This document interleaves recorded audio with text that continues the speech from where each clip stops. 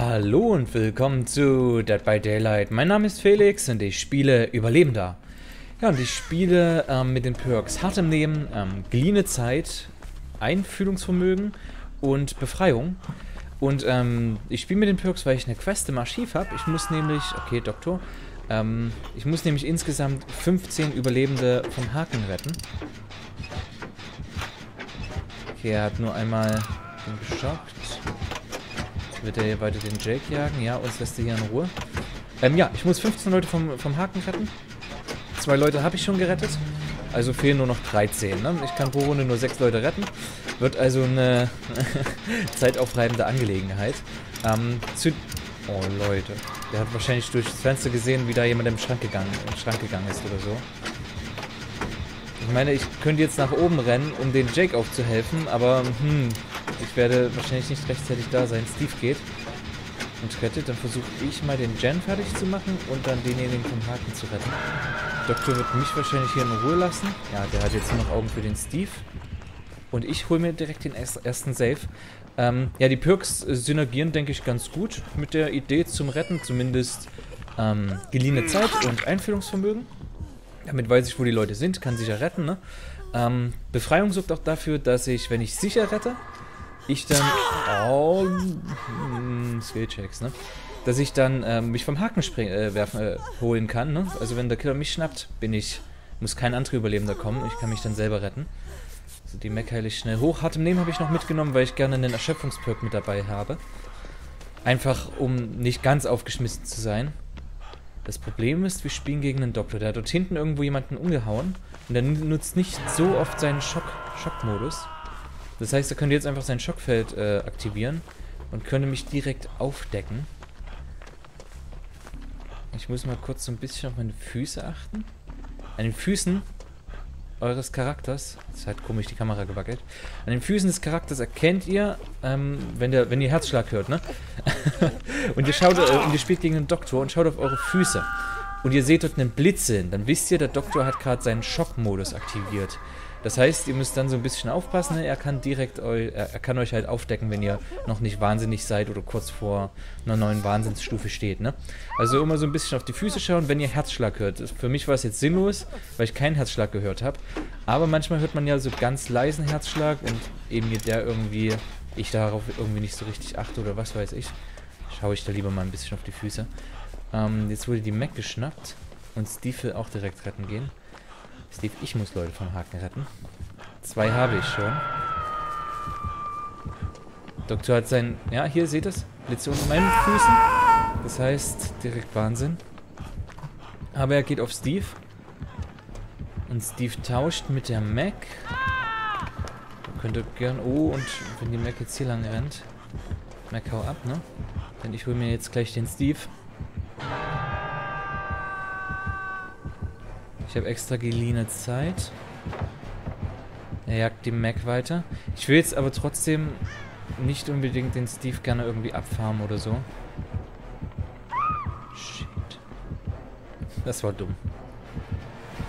Ah. So, gib... Oh, shit. Ich hab doch fertig gedrückt. Mist. Ich hab... Oh, naja, gut. Für mich sah es so aus, als hätte ich ne, die Taste fertig gedrückt, aber irgendwie habe ich wahrscheinlich dumm losgelassen. Die sterben jetzt. So, ster so stirbt man, ne? Der Doktor denkt sich jetzt, okay, die haben eh keinen Un Un Unbeugsam, ich hole jetzt einfach den letzten. Was ist das für ein Hintern? Ich habe halt, äh, ne, es lag halt auch an mir, ne? Ich habe verhauen, ich habe mich sehen lassen, einmal. Dann habe ich mich richtig gerettet, zweimal. Und dann habe ich hart im Leben verkackt, dreimal. Bravo. Naja gut, aber Sowas passiert halt auch mal. Und dann liegt das ganze Team. Aber noch ist nicht aller Tage Abend. Denn ich kann mich selbst vom Haken holen. Also habe ich vielleicht noch irgendeine Art von Chance? Und der lässt sich... Wieso lässt du dich jetzt am Haken sterben? Bateman. Ich warte mal, bis der jemand anderen aufgehoben hat. Ich habe jetzt im Grunde die ganze erste Phase sozusagen frei, in der ich warten kann. Kannst du bitte jemand anderen aufheben? Ich warte noch, bis er den aufgehangen hat und dann vielleicht weit genug weg ist bei der Mac oder so. Dass ich dann ähm, Weißt du, weil ansonsten kommt er direkt wieder zurück, ne? Und hm, wir haben auch nichts mehr geschafft. Der hängt jetzt zum zweiten Mal. Der Doktor kommt her. Und der schaut hier hinten nach der Mac. Okay, wenn... Lässt sich auch sterben. Das ist natürlich jetzt richtig bescheiden. Dass sich alle am Haken sterben lassen. Ich muss, ne? Und weg.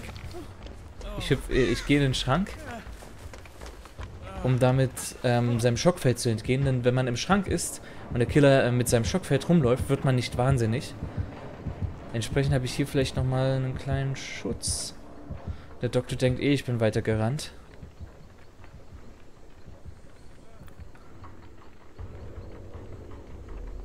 Wird er nochmal zurückkommen? Ich habe immer Angst, denn ich gehe meistens einfach prinzipiell immer zu früh aus dem Schrank raus. Manchmal muss man da lieber noch ein bisschen Geduld bewahren. Jetzt ist er wahrscheinlich... Oh, mal sehen, ob ich es schaffe, die Mac hochzuholen. Die Mac ist so gut wie ausgebluten. Ausgebluten? Ausgeblutet? Irgendwie schwieriges Wort, ne? Sie ist aus... Ja, egal. Okay, hallo Mac. Jetzt leben wieder zwei. Und die anderen beiden haben uns halt unwissend verdammt, ne? Sie haben einfach, dadurch, dass sie sich sterben lassen haben, gedacht, okay, die Runde ist eh verloren, ähm, bringt nichts mehr, haben sie jetzt dafür gesorgt, dass wir wirklich verlieren.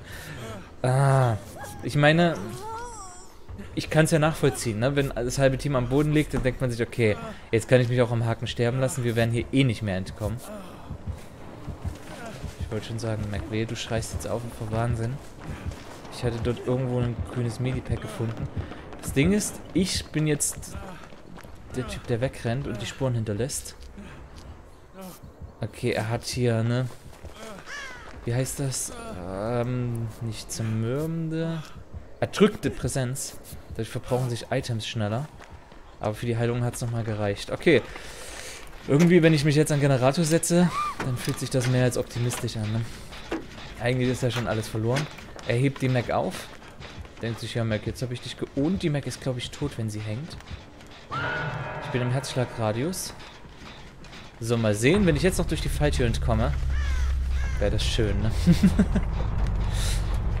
Shit. Er hat mich dort hinten, glaube ich, gesehen. So, Kopfhörer lauter stellen. Falltür, Spawn bei mir. Falltür. Spawn bei mir, Falltür. Shit. Sie ist beim Doktor gespawnt.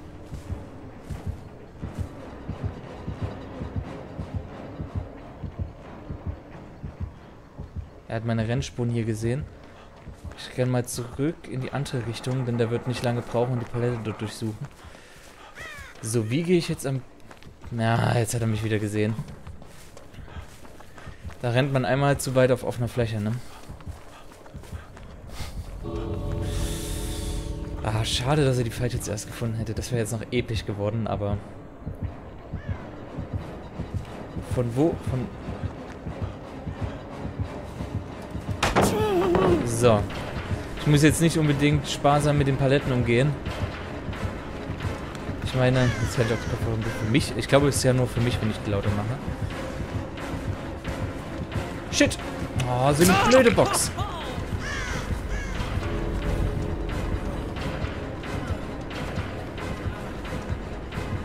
Also ich habe nochmal hart im Nehmen, ne? Und mir steht die gesamte Map offen. Aber ich weiß halt nicht, wo schon... Okay, dort ist noch eine Palette. Er schockt mich aber auch nicht. Ich kann einfach umwerfen. Wenn er die eh nicht zertreten möchte, loop ich ihn einfach weiter. Zum Tor schaffe ich es ja sowieso nicht. Ah, wie ärgerlich, ne?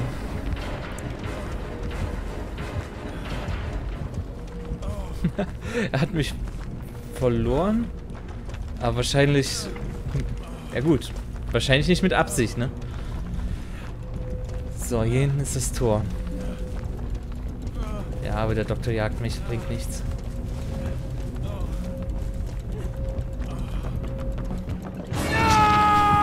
Shit. oh, eigentlich ein viertes Mal noch verhauen, weil ich die falsche... Aber gut, nee, das kann man halt nicht sagen, ne? Ich habe halt die falsche nicht gesehen, das war halt Pech. Ah, wir hatten gute Chancen. Ich hab, hätte ich halt nicht so oft verhauen, hätten wir es vielleicht insgesamt ein bisschen besser gesch geschafft. Na gut, ähm... Ich habe wenigstens zwei Leute vom Haken gerettet. Immerhin das, ne? Eigentlich wollte ich mehr vom Haken retten, aber naja. So, gut, Game. Ich hätte ein bisschen mehr an Generatoren äh, arbeiten müssen, dann hätte ich hier noch ähm, wenigstens einen Pip gemacht. Aber naja, gut. Dafür, dass wir alle, dafür, dass es reinste Massensterben waren, ist eigentlich so ein Black Pip gar nicht so schlecht. Ne? Vor allem, die, irgendwie Lobby-System, also ich als Rang 8 Überlebender sollte in keine Lobby kommen mit gelben und, ne, mit gelben Rängen als Überlebende und einem braunen Rang als Killer. An sich kann der Killer sich wirklich auf die Schulter klopfen, dass er das hier so gut geschafft hat, ne? Alle Achtung, nicht schlecht. Na gut, ähm, ja, ich hoffe, ich hatte das, wobei ich pack, ja doch, ich packe hier noch ran noch eine zweite Runde, da spiele ich, denke ich, mit ein bisschen anderen Perks. Also, äh, ja, dann bis gleich, ne? Und da sind wir auch schon in der zweiten Runde. Grubenschacht, wieder in Macmillan anwesend. Mal sehen, ob wir jetzt durchkommen.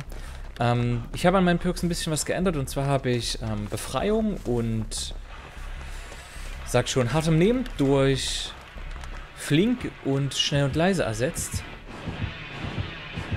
Der Killer hat anscheinend direkt einen guten Riecher. So, direkt äh, schnell und leise durchs Fenster. Flink, ich komme schnell weg. Aber irgendwie ist das Ganze ein bisschen endlich.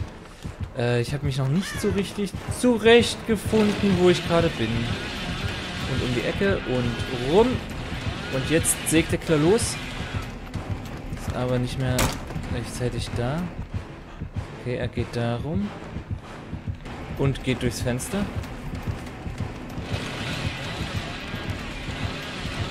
Er macht wieder das gleiche Spiel. Jetzt habe ich verhauen. Nee, nicht. Ich gehe hier rum. Nicht vorhersehbar sein. Immer schön Bögen laufen. Der Killer will wirklich sehr, sehr gerne sägen. Vor allem, wo ist sie überhaupt? Irgendwas. Ich dachte, vielleicht habe ich auch mich auf den Map-Namen verlesen. Ich dachte, wir wären auf dem Kobenschach. Nee, Quatsch, auf dem, dem Lagerhaus, dem seufzenden. Da habe ich mich... Naja, wenn man nicht mehr weiß, auf welcher Map man spielt, ne? so. Als Billy würde ich euch empfehlen, nutzt in so einer Situation einfach den Hammer. Ihr werdet nicht glücklich. Ne, wir spielen auf dem Kubenschacht. Okay, der hat schnell umgeworfen. Hier wird auch dran gearbeitet. Ich gehe mal hier weg. Ich gehe mal nach drüben zur Mine, ne? Ich habe mich schon gewundert, wo bin ich? Wo renne ich hier lang? In welcher Seite bin ich? das passiert, wenn man den Map-Namen anscheinend nicht äh, gut genug liest, ne? So, ich gehe hier an den Generator. Das Problem ist, ähm, der so wie der Hinterwäldler spielt, so wie der gerne sägen möchte, ähm, kommt hier Einfühlungsvermögen nicht wirklich zur Geltung. Und weil wir gegen den Hinterwäldler spielen, und gut, das kann man jetzt nicht auf alle äh, Hinterwäldler-Spieler schließen, ne, aber Hinterwäldler-Spieler sind sehr schnelle Killer, spielen oft, also viele ne, mit Barbecue, sind also schnell weg vom Haken. Das heißt, geliehene Zeit kommt wahrscheinlich auch nicht mehr so zum Einsatz. Denn ich will auch nicht wirklich gegen den Hinterwäldler, upsie, Ruin, okay, einen äh, riskanten, eine riskante Rettungsaktion starten, weil er eine Kettensäge hat und mich dann einfach wegmähen kann. Na gut, aber immerhin flink und schnell und leise, ne? Hat uns ja zumindest am Anfang ein bisschen Zeit verschafft. Damit hat der Hinterwäldler nicht gerechnet. So, wir machen Dogman-Generator. Ich bin hier weiter am Werkeln. Wenn alles gut läuft, haben wir drei Generatoren fertig und der Hinterwäldler hat noch niemanden am Haken. Das ist natürlich nicht so gut für meine Quest, ne? Ich muss ja immer noch Leute vom Haken retten. Und hinten wurde der Twite weggemacht. Hallo Mia. Eigentlich muss ich direkt gehen.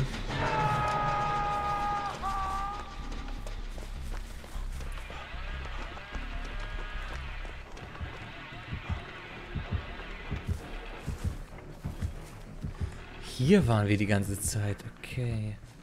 Oder waren wir woanders? Nee, doch, der hat mich hier geloopt. Boah, wenn man die Map dann wieder plötzlich neu für sich entdeckt, weil man beim ersten Mal blind war, ne? Mist, da war jemand anders schneller. Ärgerlich. Aber gut, der war wahrscheinlich schon in der Nähe, ne? Hier oben waren ja sowieso zwei Leute, die hier dran gearbeitet hatten. Er holt sich jetzt hier schön die Rettung. So, beim nächsten Mal will ich aber schneller sein. Ich muss ja schließlich retten. So, aber keine Ahnung, wen er jetzt jagt, wo er jetzt ist. Wahrscheinlich da drüben irgendwo bei der Nia. Wobei, wenn der... Ja, hm. Normalerweise, wenn der Killer so lange sägt, heißt das oft, dass er halt einfach einen Kettensägensprint macht. Aber er kann ja in dem Fall auch nur die Kettensäge hochgezogen haben. Und die Nia loopt den hier irgendwo. Die Palette dort ist schon weg. Ich will noch nicht an den Generator, weil dort ist es relativ unsicher gerade. Ohne Palette, bevor ich nicht weiß, wo der Killer ist. Und die rennen dort hinten im Kreis. Ich liebe wirklich um jeden Preis sägen, ne? So wie die. Zack. Nächster Generator gemacht, ne? Das ist halt echt frustrierend, ne? Der hat vielleicht irgendeine Auf... Wobei, gibt's solche Auf... Ja doch, ne? Eine Daily, ne? Könnte er ja haben. Dass er Leute wegsägen muss. Ist hier der Keller? Ja. Verdammt, ja.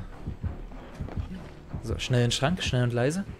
Ich hätte auch leise reinsteigen können, aber ich glaube, das macht noch ein bisschen ein Geräusch, ne, die Tür. Und da gehe ich lieber auf Nummer sicher. Hüpfe schnell in den Schrank. Ich meine, kostet mich ja nichts. Und der Billy kommt raus. So, Billy, du musst jetzt eigentlich deine letzten Generatoren verteidigen. Nee, Twilight.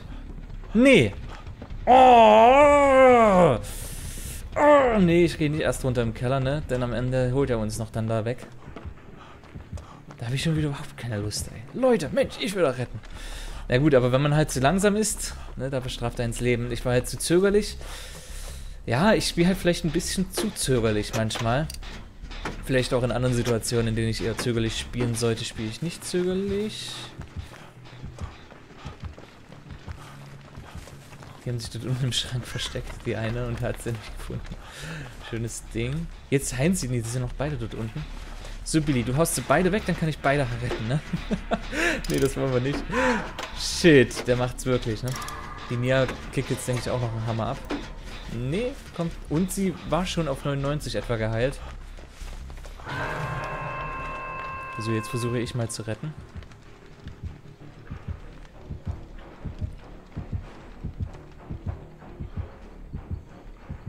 Fenster. Ich sehe ihn nicht. So, Mist drauf, ne? Ich muss jetzt nach unten. Komm, schnell, schnell, schnell, schnell. Wir müssen so schnell wie möglich hier raus, gar nicht erst retten, äh, äh, heilen. Der kommt nämlich mit seiner Säge wieder an. Nee, hat sich die Nia geholt. Okay, Tab, du läufst mir nach, als würdest du geheilt werden wollen. Ah, wenn man eigentlich retten will, aber es ist halt besser jetzt, wenn ich den heile. Den Eder jetzt noch hier verletzt die ganze Zeit rumgeguckt und sich nichts traut. Das Problem ist, Billy kommt mit Barbecue schnell um die Ecke angesäbelt. Steckst durchs... Nee. Lauf, lauf, lauf, lauf, lauf. Sorry, Tab. Der hat aber eine Kettensäge. Ich rette die Nia. Nein! Das ist halt immer so, ne?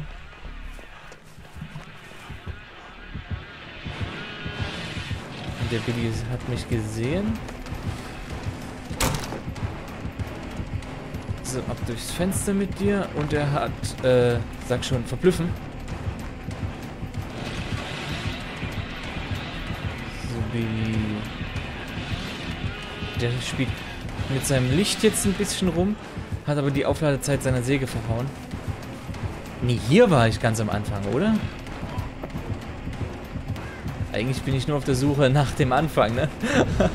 Weil mich die Strukturen da so verwirrt hatten an der Stelle.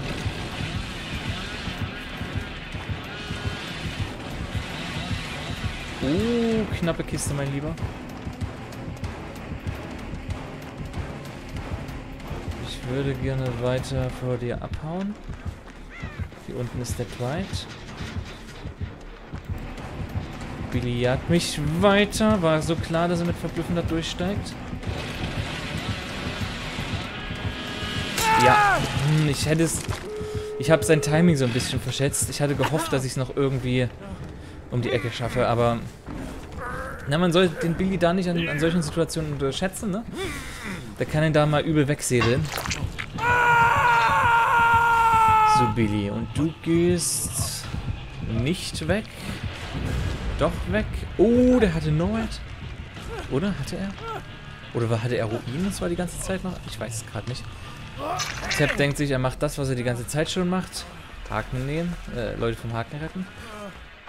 Tab, ich habe keine Lust, dass der mich jetzt kriegt. Ja, kannst du bitte das Tor aufmachen? Das Tor, das Tor. Danke, danke. Ich gehe retten. War das noch in Barbecue-Reichweite? Ich weiß es nicht. Das Gute ist aber, dadurch, dass ich hier gespielt habe wie so ein Sparfuchs, stehen hier halt überall noch Paletten. Hier steht die auch noch. Steht die dort noch? Da steht sie auch. Oh, der Billy ist wirklich super fair. Ich meine, hier ist direkt eine Palette beim Tor. Äh, ja, ich meine, hier ist direkt das Tor in der Nähe. Ja, ich heile mich jetzt hier nicht. Ich heile mich erst hier unten. Ich wurde schon oft... Ja, wenn er wollt, könnt ihr mich heilen. Okay, so kriegt er niemanden geheilt. wenn sich jemand entscheiden kann, wer zuerst, ne? So, entkommen. Die Runde lief besser, wobei, ne, wenn man es auf, auf die Quest vom Archiv betrachtet, ne, da habe ich nur einen retten können. Wenn ich dachte, ne, drei Spiele easy fertig, ne, in jeder Runde sechs Leute retten. nee, Quatsch. Das ist, denke ich, nur sehr, sehr schwer möglich. Das sind, oh, Double Pip sogar, wunderbar. Dass man es häufig hintereinander schafft, alle Leute zu retten. So, good game. Er hatte sogar einen Mori mit, okay. Da hätte uns auch nochmal ziemlich First Game und Billy. Hm. Aber für die Perks, ne? Er weiß schon mal, was er mitnehmen soll. Ähm.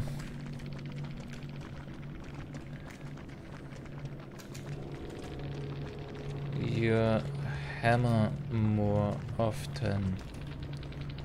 Learn when to use the saw and when the hammer. good luck. Uh,